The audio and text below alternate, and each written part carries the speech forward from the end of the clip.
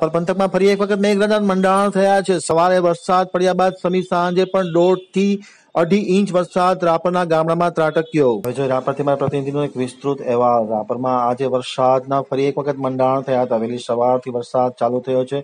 ખાસ કરીને રાપર અને આજુબાજુના ગ્રામ્ય વિસ્તારમાં બેથી ત્રણ ઇંચ વરસાદ પડ્યો હોવાના સમાચાર સુવઈના સરપંચ હિરુબેન હીરાલાલ રાઠોડે આમતક ટીવી ન્યૂઝ સાથેની વાતચીતમાં માહિતી આપતા જણાવ્યું હતું. ખાસ કરીને ભારે વરસાદના કારણે ગામડાઓમાં પાણી નીકળી ગયા હતા, નદીઓ નાળાઓમાં પણ છલકાઈ ગયા હતા અને લોકો વરસાદના કારણે હવે હાલાકી બેઠી રહ્યા છે. જેસડા, સુવઈ ગૌરીપર નાણાપદ સહિતના ગામોમાં બેથી વધુ ઇંચ વરસાદ સવારના નોંધાયો હતો. નાની રવથી બીએસએલના માજી કર્મચારી અનુપસિંહ જાડેજાએ આમતક ટીવી ન્યૂઝ સાથેની વાતચીતમાં માહિતી આપતા જણાવ્યું હતું કે નાની મોટી રવ ગામે જોરદાર વરસાદ પડ્યો છે.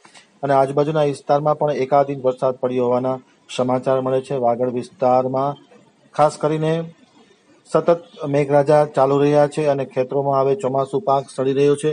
અને સમી સાંજે ફરી એક વખત રાપર તાલુકાના વાતાવરણમાં પલટો આવ્યો હતો અને સુવઈ, જેસડા, રવ સહિતના ગામોમાં દોઢથી ત્રણ ઇંચ જેટલો વરસાદ પડ્યો હોવાના સમાચાર મળે છે. ભારે વરસાદના કારણે ખાસ કરીને ગામડાઓમાં પાણી નીકળી ગયા છે અને હવે લીલો દુષ્કાળ તોડાઈ રહ્યો હોવાની ભીતિ માલધારીઓ અને ખેડૂત વર્ગ ભોગવી રહ્યા છે.